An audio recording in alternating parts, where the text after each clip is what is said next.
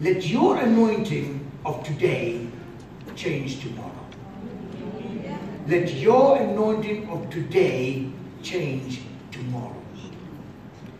In the year 2015, around this time, I shared a message and gave four principles of how to move into a new era. I want to just give it to you in a nutshell, the four principles very quickly, and see if you do remember. Principle one said, in order to go to a new era, to a greater era, number one, don't hold on to past failures or success. How many of you still remember that? I said, don't hold on to past failures or successes. Number two, I said, visualize greater things than your past. That means eradicate small thinking. Begin to visualize greater things. Number three, I said, God is working on your behalf, but most of all, God is working on your faith on the impossible. You heard so much about grace, answer the voice of faith. You heard so much about understanding grace and how grace taps in. And you've been taught principle, principle, points upon points about how you've seen proofs of grace tapping in. And then, of course, principle number four says, get ready to receive things you never asked for. Get ready to receive things you never asked for. I wonder if you still remember those four points. But my next question, I wonder if you apply those four points. Because receiving teachings from a school and not applying it does not make a bright student. Buying surf and omo from a shop called super called Pick n Pay and going home and not using it doesn't make a bright clothing. Buying toothpaste and taking it home and not using it does not make your teeth glow. Buying meat and keeping it in the fridge and going out and saying, I have no food to eat, does not get you full. In the church of God, many people receive principle but don't apply because we have become comfortable in receiving principles to hearsay but never do say. We never want to apply. This morning, I want to challenge you. I'm going to give you some principles to, to understand because I'm going to talk about let your anointing today change tomorrow. So let's deal with Mark. Let's deal with what uh, First Book Kings chapter 18 says. They had a challenge. The challenge in Israel was that the altars were ruined. The altars were missed. Altar talks about the part, the position they were with God. The place they were placed in God. They had God at the center focus of their life, but suddenly it was a mess. I'm not talking to you, amen. I'm talking to the person next to you. I know you don't do that, amen. Because things were fine. In other words, you came, you received healing, and you went out. You received your blessing, you went out. You received the call for a new job that you prayed for, and you ran out. And the moment you began to get your salaries, you forgot about God and focused on money. You forgot about God and focused on your healing. Some of you wanted a wonderful marriage. Once you got to marriage, you forgot about God, you focus on your spouse. Some of you wanted children. The moment you got children, you forget about God, you focus on your children. I just want to share a couple of things. The Bible tells me and reminds me that God designed you in the womb of your mom for his pleasure. Can I say it again? God never designed you to take care of SARS. God never designed you to take care of your wife. God never designed you to make ABSA rich. But God designed you for His pleasure that through Him you'd make SARS greater and ABSA greater and IGNIS greater and your wife smarter and your husband smarter. In simple language, you'll be applying God's perfect will in wherever He places you. Amen. I'll try it again. Many times we miss the focus, and I taught you during the, during the year, that when you pray, for something, you never have faith in that something, but you have faith in God who can give you the something. In other words, you're in healing. You can't have faith in your healing. You can have faith in for your healing. If you want a job, you don't have faith in your job. You have faith in God who can give you the very important. And therefore this morning, there's no difference because uh, here comes Jairus. Jairus had a challenge because uh, taking from first to the king, the altar was ruined, which means they missed the point. They missed God's anointing. They missed God's position. They missed what God wanted to do. And result to it, he said, now let's get together and build the altar. Tell them we start to build the altar. You might be out here today and say, hang on, I messed up for 2015. I messed up for 2016. I can tell you today, it's not the end. I don't hear a fat mama singing. The Bible tells me very clearly, until God tells you something, then it will never happen. No, God never said it's over.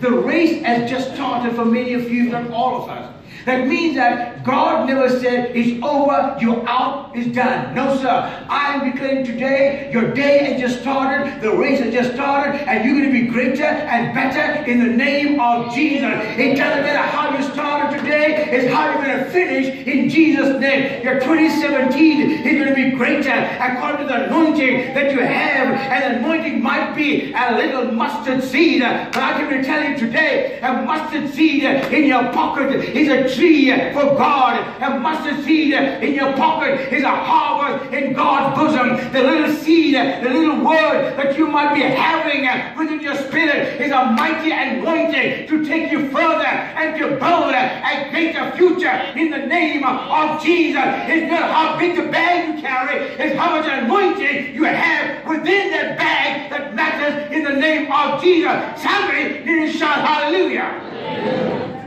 You can have a room full of people, not necessarily going to win the battle. The battle is won by people of wisdom, not by the amount of people you have. Amen. Amen.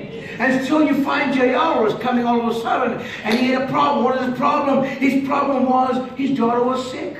If there's anything this daddy knew, his daughter's going to die. Why? Because the reality is he's a synagogue ruler. He shouldn't be coming to Jesus. Not his right. But he decided what? It was a last resort. It was the last resort. Of a sudden, he comes to Jesus and he, look at what he goes on his knees. Number one, he should be coming to Jesus. Number two, they don't go down on their knees for a Jew. And he looked at him and says, My daughter is dying. And here's number three, he begged. Number one, he should be coming to Jesus. Number two, Here's nothing. Number three, they never begged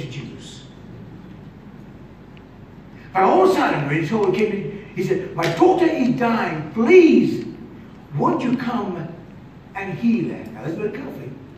I don't know about you, but it was me, I would have grabbed Jesus' hand and said, Let's go. I'll pull him to my house. But notice what happened. As he begins to walk, Jesus was disturbed. He was disturbed by a woman who had an issue. And as if nothing happened, he turned around. He began to delay time. Now, I don't know about you, but if I was earnestly urgent for Jesus to heal my daughter, and Jesus was messing around, I would have shaken him by the collar and said, What's up? Come on, my daughter is sick. What are you wasting your time with this young lady here? You can sort it out later. Come on, help me somebody. You act like you won't do that. I mean, you wouldn't care if a Ferrari hits your daughter, somebody else, you know, leave, leave alone. The Ferrari is fine, let's go. Amen. Because why? Every person is interested in their own welfare. But notice this man called Jairus. He was just walking with Jesus. And Jesus was disturbed by the woman of the issue. Then he turned around to look what is the problem. He's now having a conversation with the disciples. Jesus, don't you know my daughter is dying? And you're having a conversation with your disciples? Come on, give me a break. These elders need to go out. You come on, help me. No. He waited. And all of a sudden, he speaks to the woman. He says, Don't worry, you're, you know, you're going to be fine.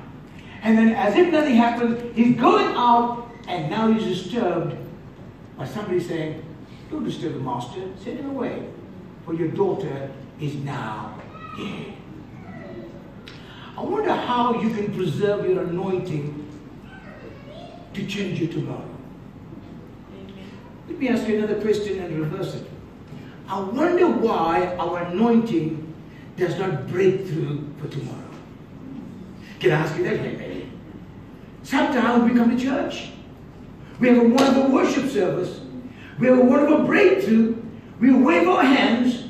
We get laid on. We get slain. We go home. We don't get our breakthroughs. Let's deal with that for today. Is that okay? Amen. Am I the right church? Amen. Let's talk about how can we preserve it. Here are a couple of points on how to let our anointing of today change our tomorrow. Follow the pattern of Jairus. Number one, don't give up on your heart because your future is stored in there and can be disturbed. Our greatest problem in life is that whenever we receive a breakthrough in our heart, we disturb it by the littlest of things and we hinder the flow of our anointing. Look at Jairus. Look at the thing that happened. The greatest challenge Jairus was Jesus. Not rushing to his home. As a father, his concern was his daughter, but Jesus was disturbed by a woman. And all of a sudden, Jairus was just peaceful. He was focused. What is the way to get ahead? How do you challenge your heart? Your heart must be challenged by saying, hang on, I will not let anything disturb my heart.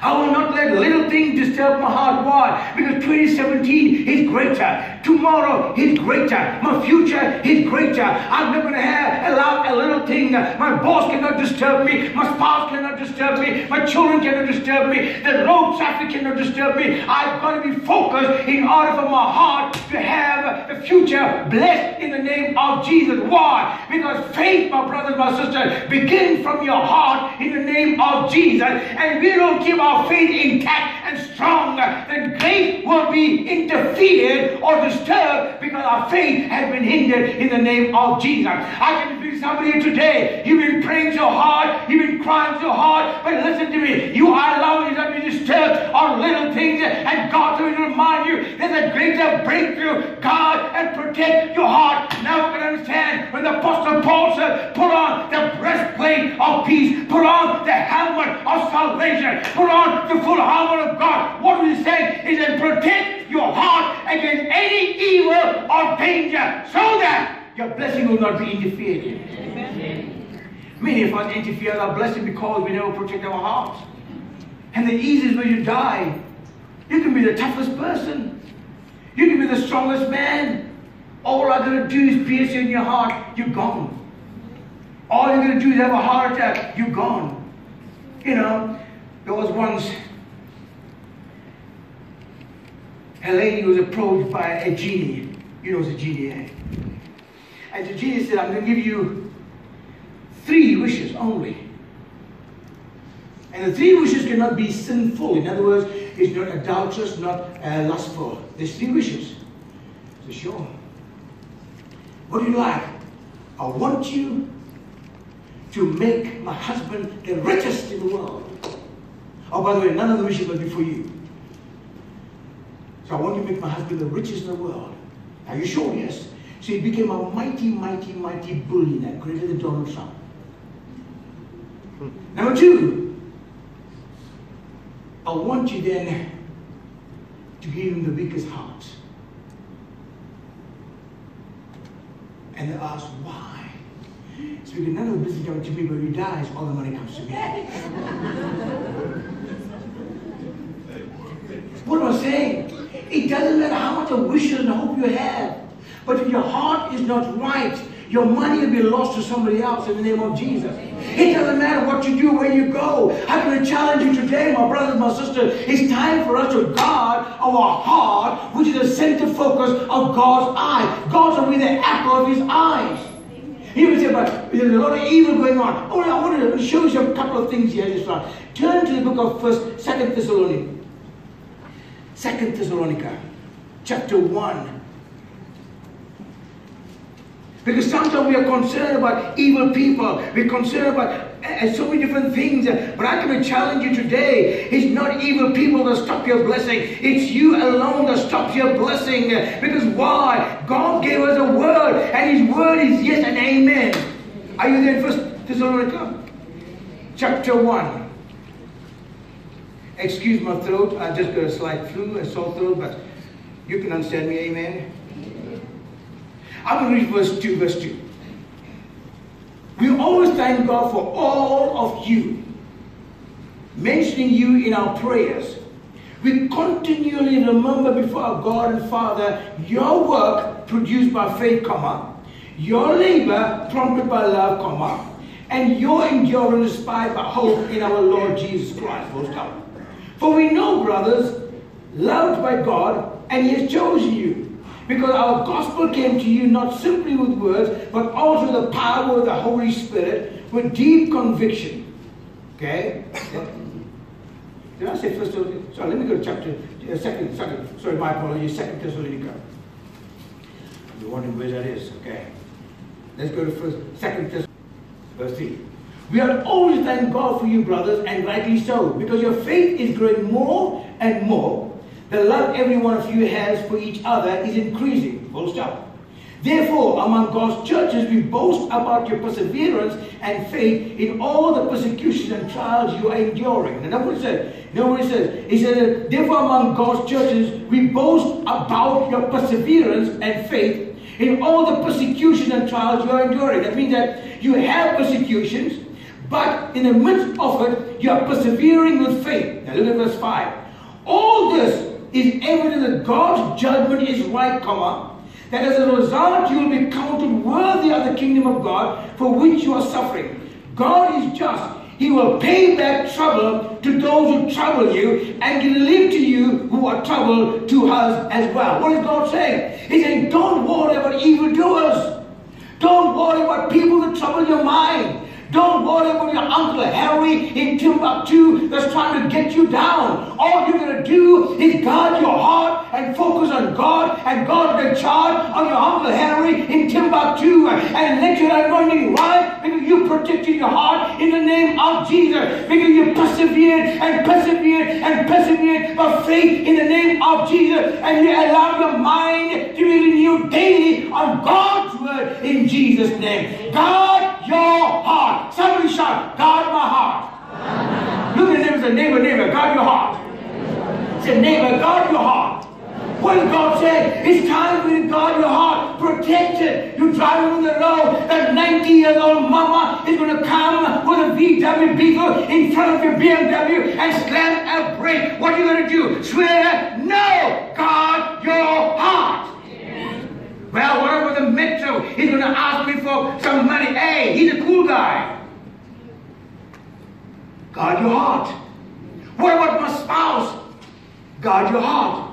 Now I can understand.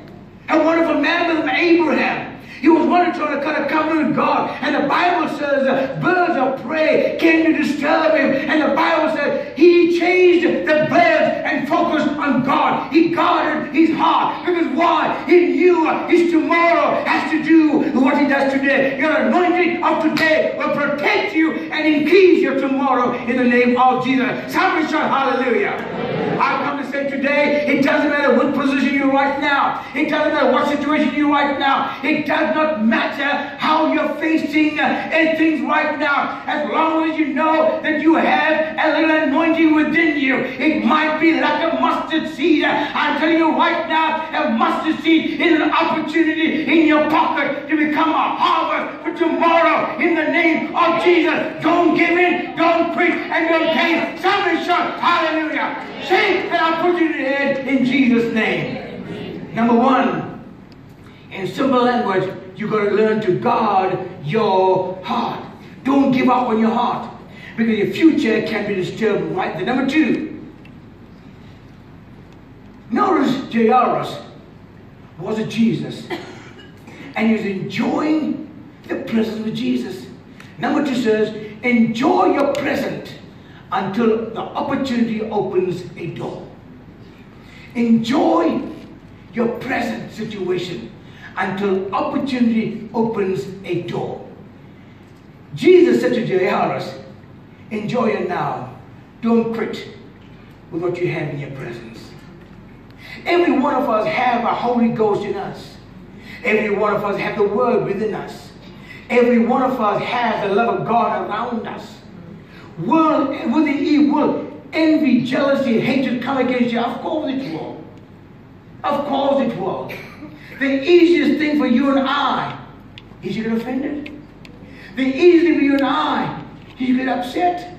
The easiest thing for you and I is to think negative. But here's the entire thing. We got a purpose to purpose to grow into positive, to purpose to grow into the things of God, to purpose not to get upset, to grow with God. Every year, folks make resolution with less commitment. We say that the new year is going to be great. We're going to have a breakthrough. And yes, these are positive words. But positive words with no action is like shooting an arrow in the dark, hoping to hit something. It doesn't matter how much you can shout and say, I'm going to be blessed. Hey, you can be blessed from now to Timbuktu. You'll never grow until you action it in the light of God. You cannot be speakers. You cannot become declarers without the positive action of God's word. And many of us will become wealthy, but you don't. Uh, tired. Thank you. Somebody just spoke that for me. Amen. You're going to become a, a, you're going to become a brilliant child of God, but you don't know where your books are kept. You're going to become a wonderful English student, but you don't read. You're going to become a great student out in Village University, but you don't save money. Life doesn't happen that way. Life is not what your purpose today with anointing you have now to declare tomorrow a greater day.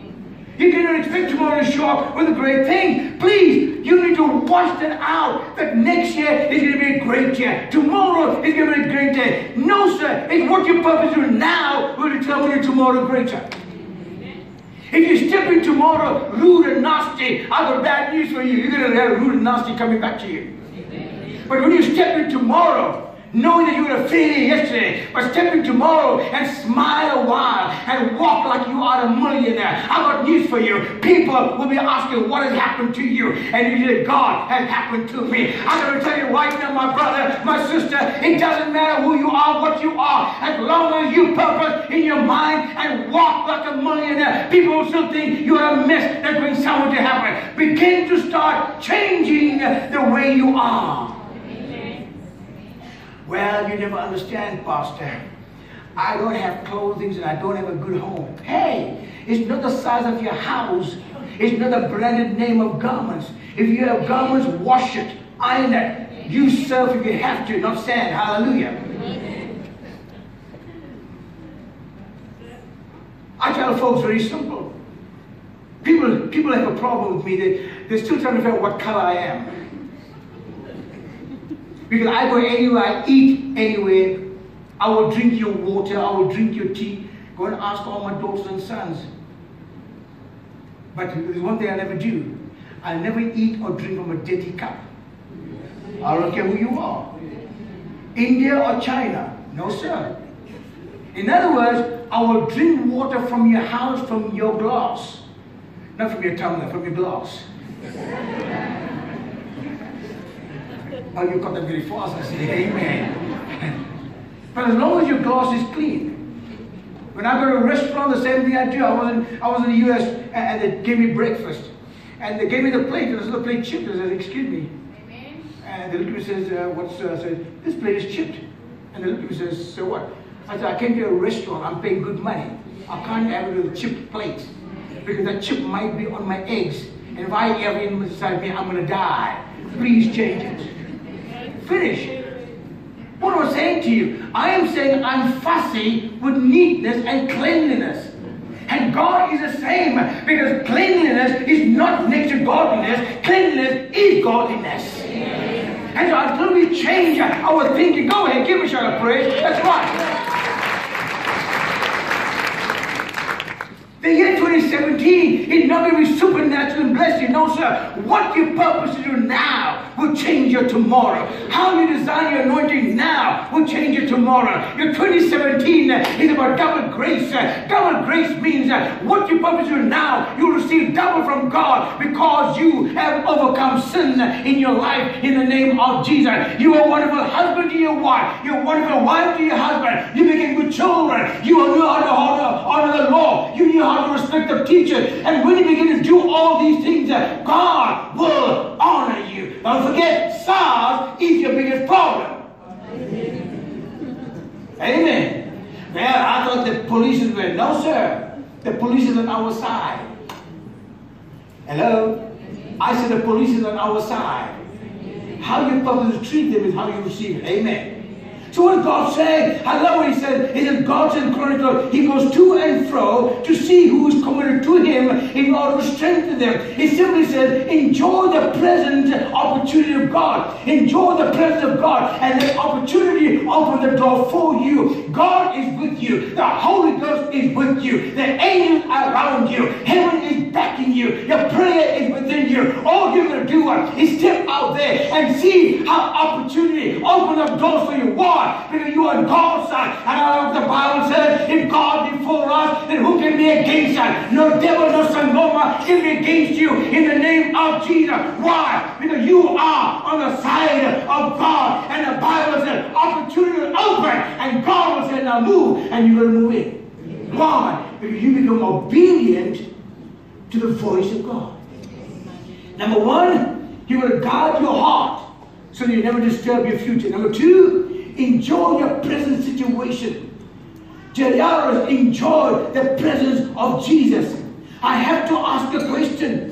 How come he would enjoy the presence of Jesus? Because he knew no one else can raise up his daughter. No one else can heal his daughter. So even if Jesus took two years to come through, he's not concerned. Why? Because he heard down the line that Jesus took four days to come and raise up Lazarus from the dead. And now he said, hang on, Jesus, if you took four days to raise up Lazarus and you are stinking, stinking, stinking, and you got him out well, healed, perfumed, how much greater will you do for my daughter? How much greater will you do for my marriage? How much greater will you do for my job? How much greater will you do for my business? I declare today, He will raise up a dead, sinking business in a mighty and wondrous business in the name of Jesus. That is my God. He will do it for you suddenly in Jesus' name. Four weeks ago, I was in Western Cape. And uh, the pastor asked me a question well before that. He says, Prof, we'd like to have the graduation at a civic center, but the civic center is right opposite a huge informal settlement. Well, you know, coming from Gauteng, you know the informal settlements. I said, go ahead. So obviously behind his mind, he knew there's going to be poor people who's going to attack. And so we had the service that morning. He was shocked. That place was packed. Everyone was there. And so the service began to go on. I finished the ministry. I had an altar call, pray for the people, and we didn't close the service, but I was about to hand over when an elderly colored sister, now making a point, as I use the word colored sister, she came down slowly. She was a grandmama. And the boy was as, as large as Rio was. So he was about a grade three, grade four. And of course, she was kind of guiding him. And I didn't understand why. And she began to speak to the pastor in Afrikaans because she knew I was so anointed.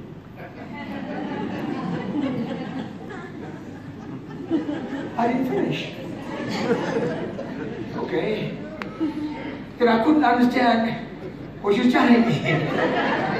so the pastor whispered in my ears, quite loud. He says, Prof, the grandmom said this boy has to go on Tuesday for an eye operation and they may have to remove his eyes because he cannot see, he cannot see 90% in both the eyes. And he's only grade three. Uh, she didn't know what to do. So now I can understand why she was maneuvering him. And so, it's a tall order. I said, sure. I looked at the boy and I placed my hands on his shoulder. I said, young lad, do you understand English? They kind of looked at me because I've been praying for him. I'm asking him a question. I said, very simple, I want you to understand me. Do you believe Jesus can heal you? He said, yes. I said, okay, let's pray. I placed my hands and I prayed. I was at peace because I realized it's not my business. And so the grandma looked at me and she grabbed the child and she went over him back. Well, I got back to the, you know, the mic, had my lunch, had the graduation, and off I came. Monday went, I didn't worry about it. Tuesday went, I didn't worry about it. Wednesday morning, I received a WhatsApp. Prof, a report on the young boy. There's no operation. His eyes are being restored. The mother is eye drops. Not only that, he's a grade three. So in grade three, you don't receive A aggregate, B aggregates, no. You receive numbers. Everyone knows that. What's the highest number? Seven. Sorry, what again? Seven. Every subject that boy received seven. Every subject he received seven. And they were amazed. I said, see, God can do a supernatural work. Why? Because that's His business. Why? Because His presence was there. And as long as His presence is there, you'll be at peace and know He's taking charge over everything in the name of Jesus. I can tell you right now, it doesn't matter your situation, it doesn't matter your business, it doesn't matter your job, it doesn't matter what way you're placed. As long as you know that the presence of God is there, opportunity will open the door for you in the name of Jesus. Happy church. Hallelujah. Number three. Number three. Always know that what you enter into will be tougher than your present. I'll say it again.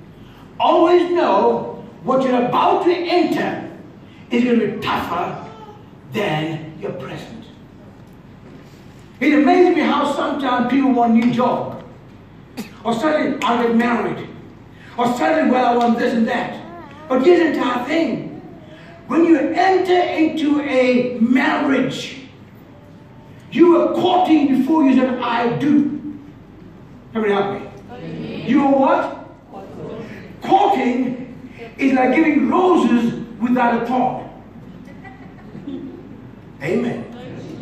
And until you gave all the best, and got married, you remember, remind yourself about the rest. That means that there's reality after marriage. Before marriage, you pull the chair and you'll make your husband so your wife sit. Other the ladies say amen, but nobody said amen. But after you marry, you cannot tell her where to sit because she'll excuse me. Because why?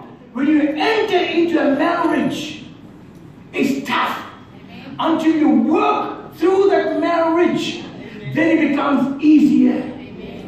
When you enter into a new job, you love the job, you love the salary. But you notice the moment you enter into the job, it is tough. You don't know where the machines are. You don't know what's expected of you. You don't know what to do, etc. But as the days go by, it becomes easier in the name of Jesus. And I know what you're thinking about. Elizabeth Cuffrey. Goliath was destroyed so easily by David. Why? Because David had it tough when he went to the lion. He had to fight hard. He was tough for him. But he destroyed the lion. He fought the, the bear. He destroyed the bear. So when he saw Goliath, he said, come on, you're an easy dude. What I'm saying to you, as you walk down the journey of toughness, it becomes easier in the name of Jesus. Your future, it will be tougher than your present. But listen to me, as you persevere and persevere by faith, your future will be easy in the name of Jesus. You will be a winner. You will be a champion. And you will be victorious and an overcomer. Why? Because your purpose to persevere and take charge. Because your entry into anything will be tougher. In the name of Jesus. And many of us give up the moment we enter. you enter a joint, into, into, into a wonderful company, and all of a sudden, sudden that company get died. What do we do? We want to abandon ship. But God is saying, hang on. Do you know how to persevere in the business? Because no business is going to make you a billionaire overnight. If that business make you a billionaire overnight, it must be drugs. Hallelujah. Everything is tough. Nothing starts off easy. Tell your neighbor, nothing starts off easy. That means whether it's a marriage, whether it's a job, it doesn't matter. It will be tough. But once you start trusting the Holy Spirit, He will make it easier for you in the name of Jesus. What about children? You love have children until you have them. After that, enough. They cry, and they cry, and they cry, and they cry. And you wonder why. it's never going to be easy. Every child does that. Here's my entire thing. I'm amazed. Are there any nurses? Nurses? Any nurses? Oh, they're not here right now. Have you ever seen a nurse after you deli- she delivered a child? She holds the child upside down and spank him with a bottom? I would like to sue that nurse. But then she told me, no, Pastor, I have to do that. I said, why? So I know the child is breathing at least. This is what I'm saying. Life, you never enter easy. Life, you enter to be tough, but you make it easy in the name of Jesus. Any business is going to be tough, you're going to make it easy. Any marriage is going to be tough, you're going to make it easy. In simple language, life becomes easier as you persevere by faith in the name of Jesus. Somebody say hallelujah. hallelujah. Well, what about children? You know, uh, don't you think so we should already... Listen to me. If you make life easier for your children, you're not going to allow to see success. Amen. A child that has a little tougher life will be successful later. Amen. Because a child will learn what it is to overcome pain and to become victorious in the name of Jesus. Amen. We've got to know how to allow life to be turned around. How? Becoming tougher, but knowing it'll become easier. Because boy, don't worry about easy, worry about success. Tough or easy, success must be your story at the end of the day. In anything, begin to look at success, but never think it's going to be easier overnight. Number one, guard your heart. Tell your neighbor, guard your heart. Number two, enjoy your present until the opportunity opens the door. Number three, always know that what you enter into will be tougher than your present in the name of Jesus. Number four, our present situation is getting us ready for the new era of our lives. Your present situation is getting you ready for the new era of your life. Only a sprinter will understand it takes at least nine seconds to complete 100 meters. But it's nine seconds later he breaks the tape. In simple language, how he prepares his now will get him to break the tape later. Your present situation of preparation, how you prepared your life, how you prepared your, your finances, how you prepared your courtship, how you prepared your children, how you prepared your education will prepare you for a new era in the name of Jesus. If you don't study, you prepare yourself for a new era of failure. If you don't save, you prepare yourself a new era of having no money in the future. You cannot come in 2017 and say, well, Pastor, you know, you prophesied. Praise God, I don't. Until I'm told to by the Lord. Don't expect any season to bless you unless you know how to sow first into the season. A season is the same. I love when people say December is a month of love. Who told you that? Well, Pastor, we give out free food. Big deal. Every month should be the month of love. Every day should be the day of grace. Every minute should be the minute of faith. We should be walking as children of God. December is not the month, is not the month of love. Then what is February? Amen. Well, it's Valentine, Pastor. Hallelujah. you see, we miss it. That is why most people are broke in January. I love when people say, well, it's the third week of the month, Pastor. So what? It's a broke week. No wonder you're so broke every third week. There is no broke month. There is no broke day. I refuse to be broke any day of my life. Why? I know how to budget and to live. If you budget well, the third week should be the richest week in your life. You should not be broke. In the name of Jesus, I'm broke. But you still saying straight, amen. Isn't it strange how people say I'm broke, but they got money for cell phone? Oh, come on. You talk to this church here. You're feeling I'm feeling a bit guilty, eh? Isn't it strange how we are so broke, but we have money for whatever that's not useful? And therefore, we got to know how to budget. We got to know how to plan. Because what your purpose do now will open up a new era for you in the name of Jesus. Your present situation is getting us ready for a new era. God is a Jairus and is preparing it for a new era. Jesus was making was walking with Jairus. The atmosphere was charged with healing. The atmosphere was was full with heaven's glory, and Jesus was on his way. Listen to me. The present situation changed Joseph's life.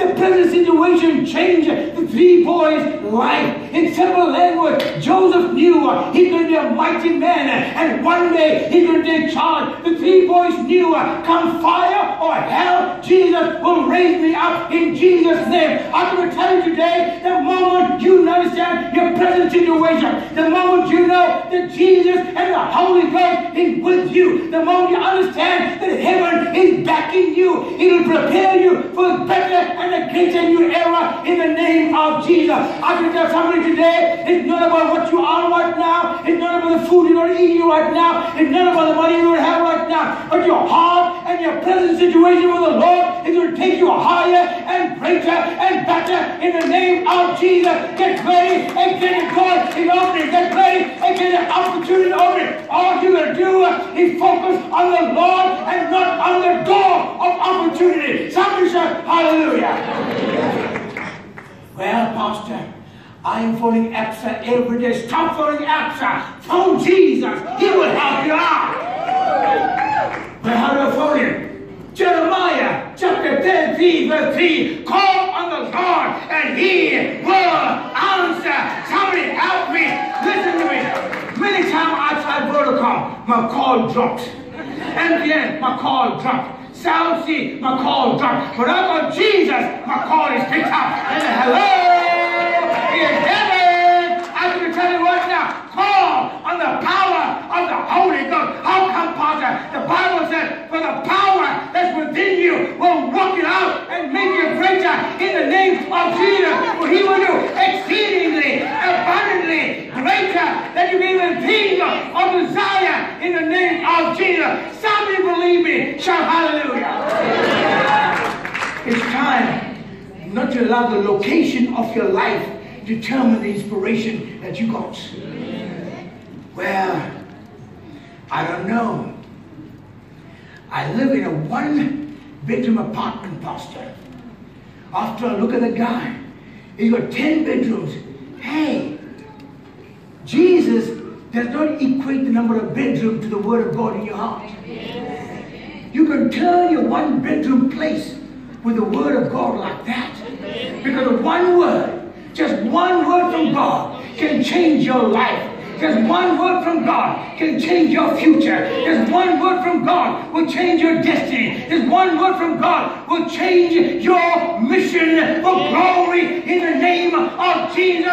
You'll move away from lack to prosperity, from failure to success, from a zero to a hero, because God is your source and not any door of opportunity. Somebody say hallelujah. hallelujah. God wants you to know He's ready for you. But here's the entire thing. Jairus knew that his attitude determined his altitude. Jairus knew that his present situation, he knew the season doesn't change you. You change your attitude to enjoy that season. He knew that. He knew all he had to do was be upset with Jesus. The healing of his daughter is gone. All he had to do was be upset with himself. The healing is gone. And many a time, our opportunities of success for the future is messed up by the attitude of our lives. We've got to guard it.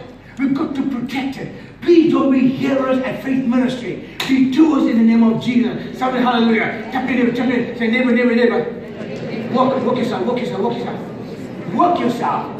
That means begin to work the word so the word begins to work in your life. I said, work the word so the word begins to work in your life. I said, walk the word. Walk it in your home, walk it in your business, walk it in the street, walk it in your job, walk it wherever. It must operate in the name of Jesus. Oh yes, God is for you. Why? Because the word is with you in Jesus' name. Somebody say hallelujah. hallelujah. Number five. Plan now for the new future. Plan now for the new future. Some times back, there was a sister. Had two incidents with her. Number one, she wanted to get married. What's happening, sister? Pastor, I'm waiting for God to send me the right man. Five years later, sister, what's up? Pastor, I'm waiting for God to send me the man. My wife and I grabbed her each side said, Come with us. We took her down the road. You see all these men? See all these men? See all these men? What men you want? Finally, she found herself a man. Amen. She found herself a man. She got married. Well, she got married. Listen very carefully. You, if you're below 13, close your ears. Got married. Prayed for her. To another sister, gone on honeymoon. Husband grabbed her. Took her on honeymoon. That evening, there was a prayer meeting in one of the churches. She ran away from her honeymoon, came to the church. Sister, what's wrong? No, Pastor. That man is a bad dude. All he wants to do is strip me naked. What's his problem? Sister, you to get married. Do you know what marriage is about? That's a problem. Plan now for your future. If you don't understand the future, then you will learn about it in the name of Jesus. Somebody shout hallelujah. Too many of us go to the future, but you have no idea. You're going to get into business. You idea. You're going to marry. You got no idea. Oh, Pastor, I'm looking for the hunk. Hey, that hunk, I got a six barrel, a tune.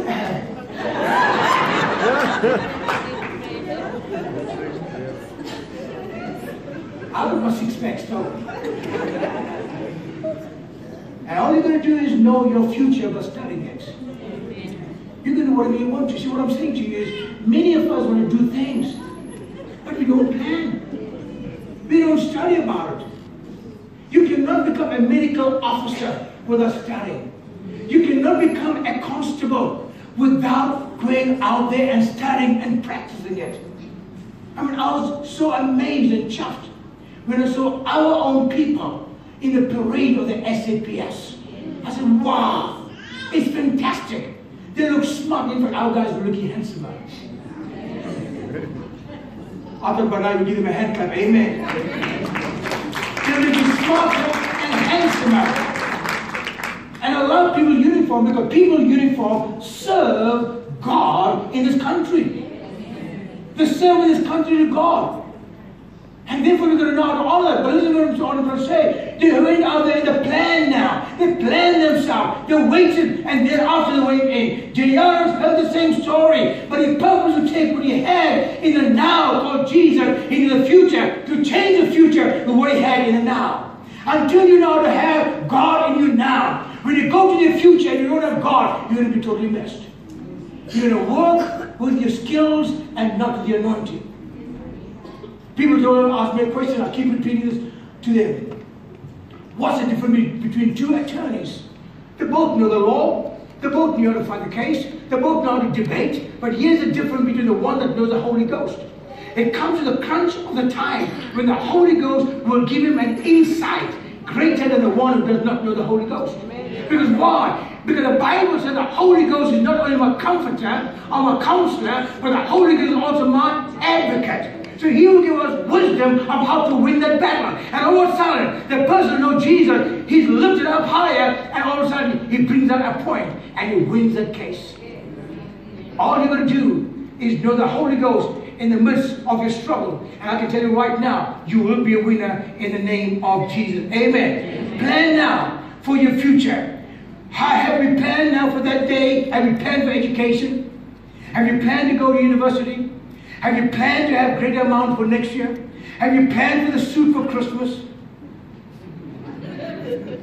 Have you planned for the turkey or the duck or whatever you buy for Christmas? You see, if you haven't planned, you're not going to have. Then you cannot sit at the table and well, the churches don't care about it. No, no, no. It's not the church, it's your planning. People say, well, the church must take care of the widow. You don't want me to open the scripture. I open the scripture, you're going to be messed up. The church, the Bible never says the church must take care of the widow. The Bible says the widow must be taken by, care by her family. Only the one who does not have a family and is serving God must the church take care of. Amen. Amen. Go back to scripture. Don't let people give you traditional thoughts. Hallelujah. Where was I? Number five. Number six. Number six. Stop grumbling about where you are and what you are. Tell neighbor, neighbor, he's talking to you. Uh, she did neighbor, he's talking to you. In life, grumbling and bitterness comes as a natural instinct. In life, failure becomes a natural instinct not to complain about. In life, losing has been taken away, has been taken as part of life. And so what happens is we do nothing about it. Well, I'm sure that's God's will. If God's will is for you to fail, he would have allowed you to fail a long time to develop it and become better. Not be given failing, failing, failing, because you do nothing about life.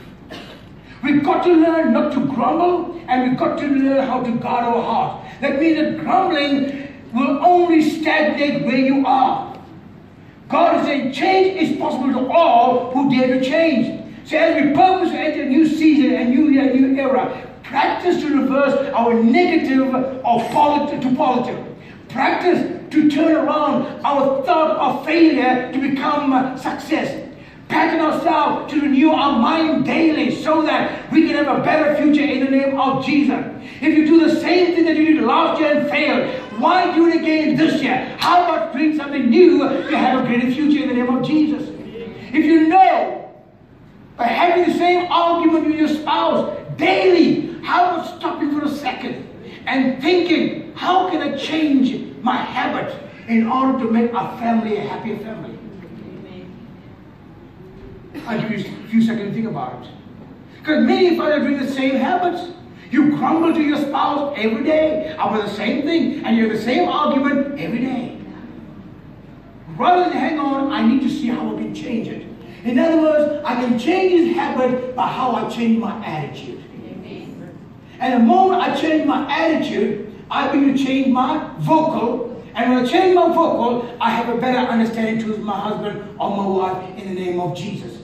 So number one, you got to guard our. Number two, enjoy your present until the opportunity opens the door. Number three, always know that what you enter into will be tougher than your present. Number four, our present situation is getting us ready for the new era. Number five, plan now for a new future. Number six, stop, stop about where you are or what you are. Finally, number six, number seven. When you respect your present, your future will be respected by you. The greatest challenge I have right now is to see how people disrespect each one, young or old. Respect is a two-way street. It's like a boomerang. What you let go out of your life comes back and hits you in your face. When you disrespect your spouse, you simply disrespected your tomorrow. When you disrespect your parents, you simply allow the same disrespect to come upon you. When you disrespect your teachers, they will never, uh, they'll never be comfortable to teach you correctly. When you disrespect people out there, the same thing happens. What about waiters? How we tend to disrespect them? What about shopkeepers? How the shop, the seller helping hand at the, shop. How we learn to disrespect them. Our lives have become in South Africa the most disrespectful nation. We have become comfortable. We become bossy to everybody. Yes, I know you got the money. Yes, I know you drive a Ferrari. Yes, I know you drive a plane. Yes, I know you're out there. But you don't have to have your nose lifted up. Simple language, be humble. And the Bible says, when you humble yourself before God, in due season, He will lift you up in the name of Jesus. Never think that you're so high that you cannot fall. Remember where you started from. Write down. And God picked you up. And as God picked you up, now that you're out there, you should not be so aloof that you cannot come down. I can tell you today, it's time for us to know how to respect one another. It's time for us to know whether an elder. It's not about whether you're young. Greet the person. Hello, I'm so sorry. How are you? It's simple as that. This is what I've done. Pastor Ray, will you come in, please? Many times when you walk by, face me, when you walk by, now the opposition will walk and you're trying to juggle, and all of a sudden, walk past me, he bumps me. Now I know he bumped me, but I tell him, oh, I'm so sorry. What do you think I've done to him? I will make you feel guilty knowing that he bumped me, but I apologize. So easy. Did he get offended? No. Did I get offended? No. But we allow the peace of God to come just by saying, I'm so sorry.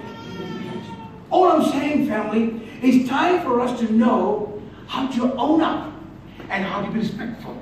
The more you become respectful to anyone, find God respecting you from everyone. It is so simple as that. I've discovered that in life, people want to be bossy, but here's the entire thing. Respect is a two-way street or a boomerang. It comes back and faces you head on. Begin to enjoy your present situation. Begin to respect yourself in the situation. Don't hate yourself where you are. Change it by changing how you think. Jairus was placed in a difficult situation and his daughter is dead. But Jesus said, respect the present situation you are right now. Be at peace. Don't listen to them. What was he saying? He's saying, when you respect your present situation, when you enter to your future, the future will respect you as well in the name of Jesus. You see, family of God, when you find excuses of you today, you'll find excuses in you tomorrow. Then you'll never respect you tomorrow because why? Everything you see will be a fault. Unless you learn to change your thinking, somebody else out there will not change the thinking for you. We've got to know how to change our thinking. Many folks want to find happiness after the pass, after the pass exam, or get married or find a new job. No. Don't ever marry to complete yourself. Don't ever marry to find happiness. Don't ever find a job to have money. You must be satisfied within yourself and let everything else be a cherry on the top in the name of Jesus. Wherever I go, I would say these things in a very nice way, especially when I do marriage conference. I say, I'm married for 40 years. But my wife never makes me happy. And I'm bold about it. Because the day she starts making me happy, and she stops making me happy, then I will kill myself. Because why? I have no happiness. But you see, I make myself happy, and she just adds the cherry on the top. Unless you know how to enjoy your life first, nobody else will enjoy your life for you. Amen. Amen. Jesus took the anointing that he carried today to tomorrow and changed tomorrow by what he had today. And listen, the Father took Jesus home. Today, you as a mom, you as a dad, you have the Holy Ghost in you. How about taking him to the home? And when you sit at home with the Holy Ghost, know there's a presence of God. Know there's anointing of God. Respect that present situation with him and see how your present and your future will be filled with so much joy. Your anointing of today will change your tomorrow in the name of Jesus. Amen. God bless you. Let us stand. I've come to challenge you today. We are walking into a great year for 2017. 2017 is symbolic of double grace. Yeah. Double grace simply means, as I told you a couple of weeks back, I'll be ministering that on New Year's Eve. There's going to be plenty of sin rising up in South Africa in particular. But the Bible says, as sin abounds, your double grace will abound even greater in the name of Jesus. In the midst of people having crisis, your double grace will lift you up if you're obedient to the word of God. If you understand about the double grace, it means the application of his word and obedience to his voice. Today, as you close your eyes,